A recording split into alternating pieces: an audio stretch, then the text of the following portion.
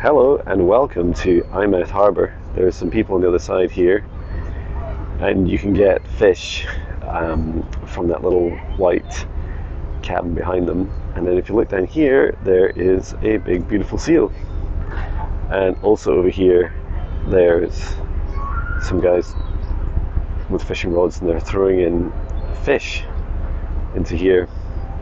I think they're trying to attract the seals here also it's such a beautiful harbour here. Um, so we stayed nearby overnight for camping. Well, there's another seal. he just popped underneath the water. Um, and it's a working harbour, so it's Saturday and there's quite a lot of action going on. You can see just down here is the lifeboat. They were busy yesterday answering the call of a yacht, um, which I think en- it looked like its engine had failed oh, here's a super cool boat. It's like a drone boat.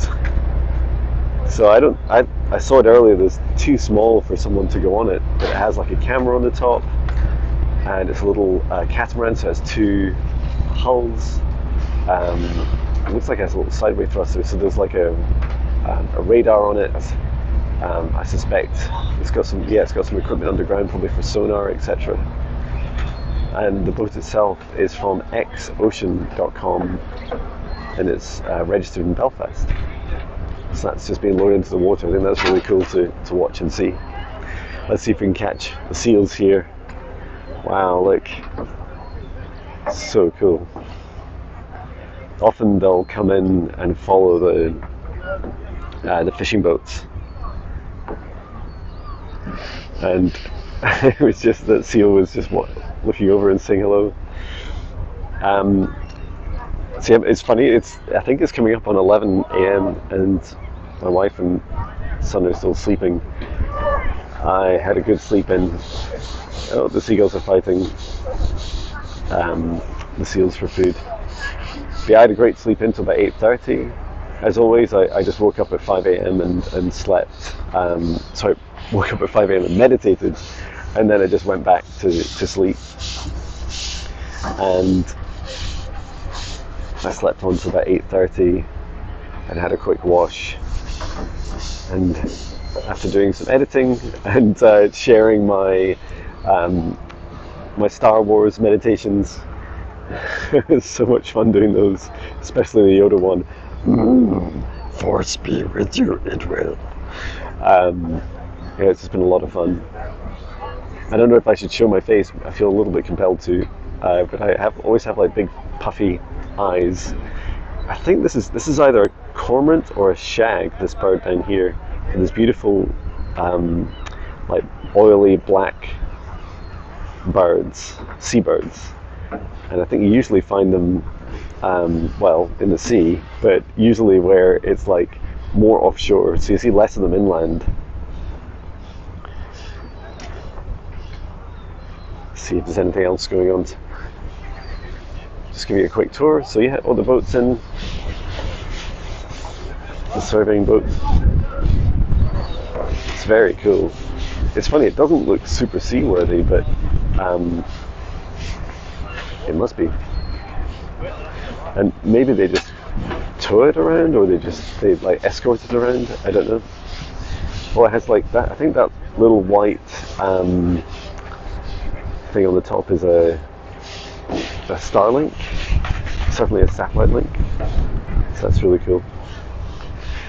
Anyway, let's have a little tour around. Patch is enjoying uh, floating in the breeze. This is really funny to watch. Is he going to still still do it? So I'm sat next to him. Patch does that like never-ending story pose where he's flowing in the breeze. I think he loves the smell. It's like he doesn't need to go anywhere and he can smell it all. And there's also just down here some. These crab claws? They're really small, or maybe like baby lobsters. I don't know. But yeah, there's a lot of fish, a lot of beautiful um, food. Here we had some uh, crayfish from the local fishmonger. They're absolutely beautiful. yeah, most of us caught in here. Oh, and out there's a rowing boat slowly coming in. We'll maybe catch it as we walk. Okay, let's explore a little bit. Shall I do a quick flip around? Does this work? Hello. Here's my puffy camping face.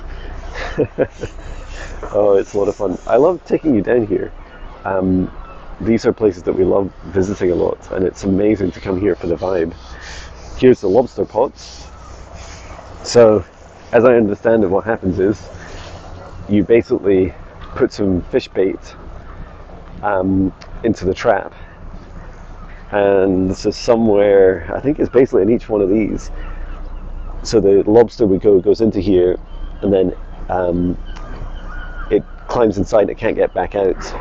I'm not really sure how it closes and traps it, but it does, and it works. So they just put these down at the, the seabed and rocks, and then um, once you've done that, come back and collect the, the lobsters, and they're they're very much alive.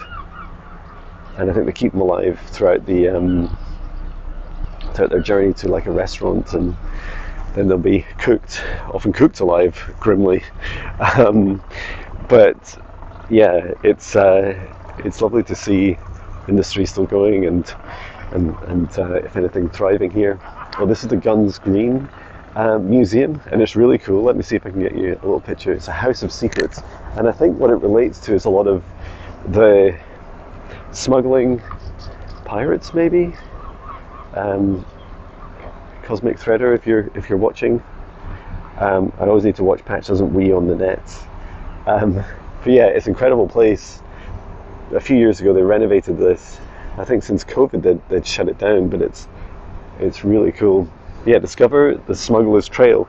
So I do know I used to many years ago come and play um, music down here, and we'd come down every like second Saturday night. We'd play as a band, and I, I don't know if you can see it, but there's if I can get the right building. I think this is the one that we're looking at here.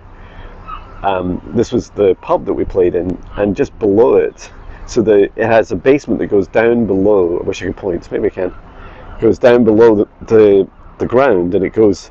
The basements go under the like the top of the harbour wall, and so there was like in here somewhere there's a door um, that allows you. I mean, I think it's sealed now, but there's a doorway that allows you to go in at low tide. So what happened is the ship would pull up alongside here, and then they'd smuggle stuff through the harbour wall and then up into into the um, into what is now a pub uh, and uh, well hotel restaurant. So that is so cool. Come on, Patch, let's go. Um, I mean, smuggling was big business, right? And it wasn't just here; it was all around the the east coast, maybe even all around the UK. Um, let's get a nice look at the the, lifeboat. This is a Shannon class lifeboat. I know that because I read it, and um, it's really cool. They're self-righting. They have these, as I've seen them, um, they have these giant uh, like airbags that basically pop out at the, the sides and top, and they flip it back up if it rolls over. So they're so they're kind of like submarines, um, and this is for offshore. So in inshore, you just have the little um, inflatables, and this one's much bigger, and they cost millions. I remember the one in Dunbar was wrecked in a storm, and uh, as I remember, the it's a charity, the the RNLI, um, the Royal National Lifeboat Institute, I think it stands for, and so yeah, they did a lot, um, a lot of fundraising for a new lifeboat.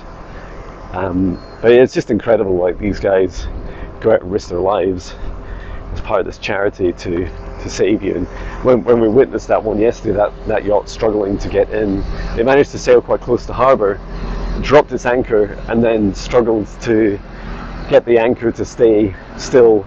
You know, it was just dragging across the ground.